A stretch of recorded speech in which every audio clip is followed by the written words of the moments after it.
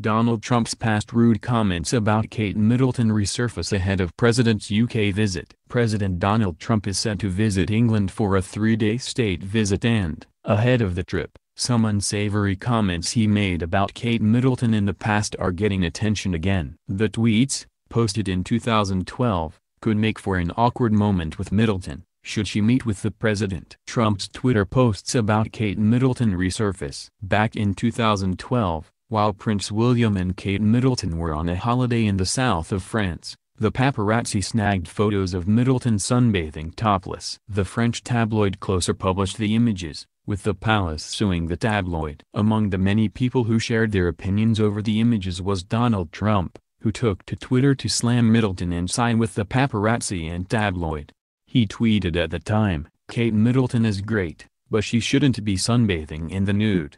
Only herself to blame. He followed it with another tweet, noting, who wouldn't take Kate's picture and make lots of money if she does the nude sunbathing thing. Come on Kate. It took five years following the lawsuit for a verdict, with a judge ordering that the magazine pay the couple euro 100k in damages. Kate Middleton is great but she shouldn't be sunbathing in the nude only herself to blame. Trump's comments about Princess Diana surface again. In addition to his comments about Middleton, a 1997 interview with Howard Stern has also resurfaced, in which Trump says he could have nailed Princess Diana.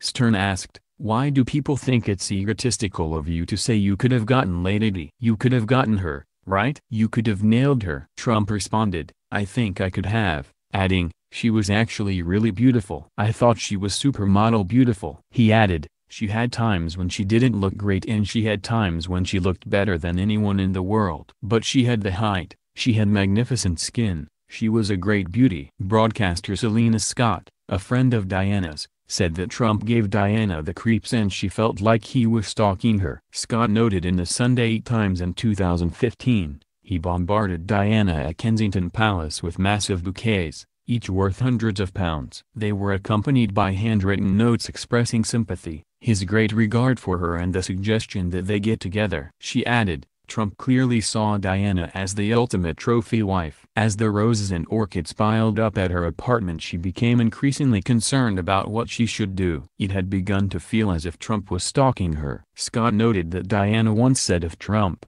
what am I going to do? He gives me the creeps. Trump called Meghan Markle nasty. Of course, Trump's most recent comments about a member of the royal family are rubbing many the wrong way, as he called Meghan Markle nasty for comments she made about him during his presidential run.